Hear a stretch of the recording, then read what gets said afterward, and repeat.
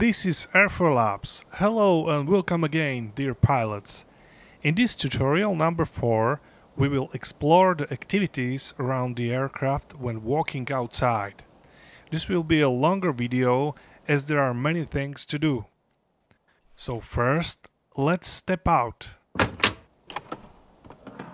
And we can try to open the baggage door. Okay, now when clicking in the interior of the baggage compartment, you can switch between different baggage presets. It instantly influences the flight model and starts to simulate the added weight.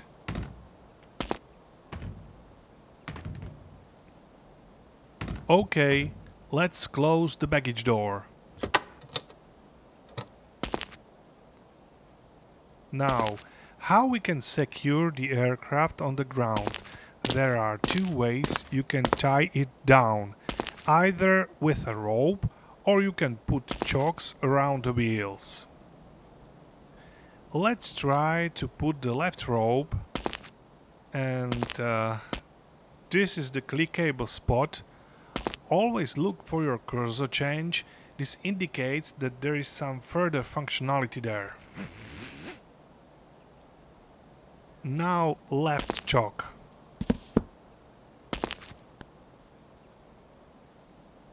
Tail rope.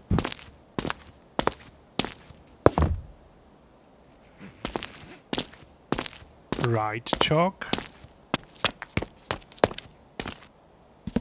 And finally right rope.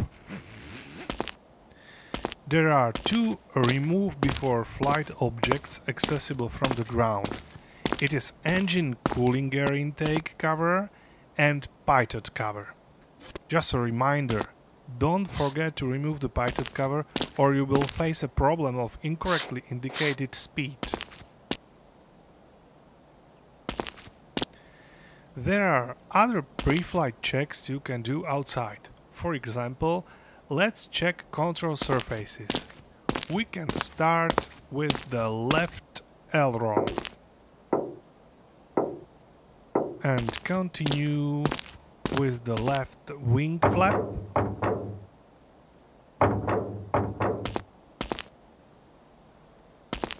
Now elevator,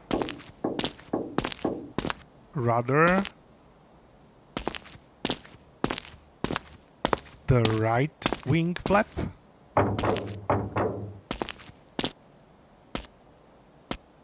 and finally the right aileron.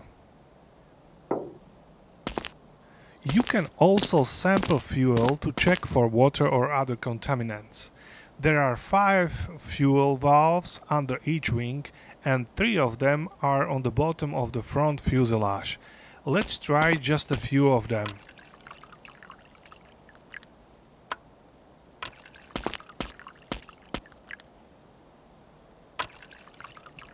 Okay, now we can check the oil.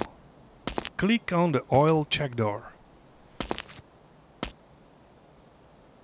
Let's unscrew and pull out the oil cap with the measuring stick. And we can see how many quarts of oil we have. Pay attention to have always more than 5 quarts, otherwise you will experience progressive damage to different engine parts. In case there is not enough oil, you can use the oil bottle you see and by clicking on it, you can refill the oil. Just like this.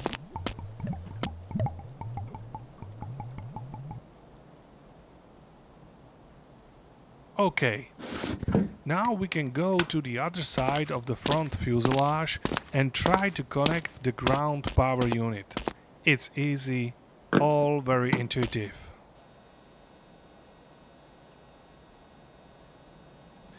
There are few other ground objects that are accessible also from the menu. So let's check the third icon from the top. In the submenu there is the GPU that we have already tried.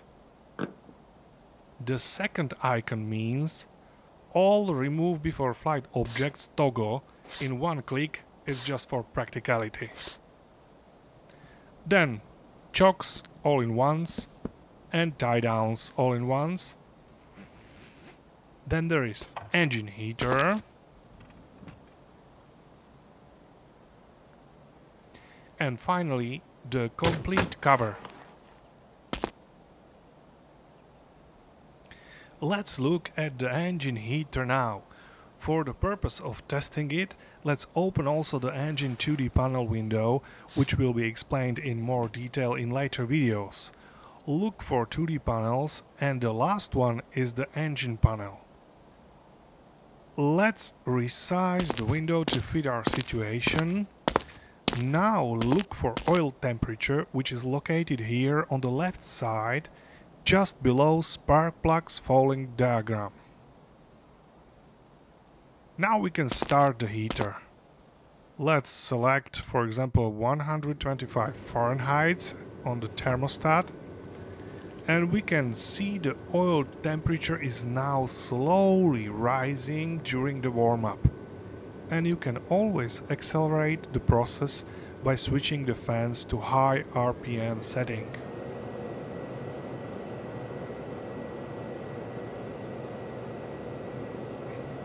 Okay, now let's switch off all the ground objects using the menu.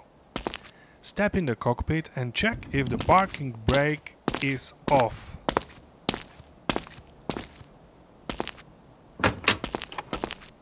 If not, let's release the parking brake.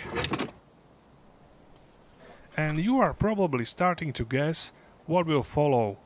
We step outside again and we go in front of our 172 and click on this part of the front wheel strut.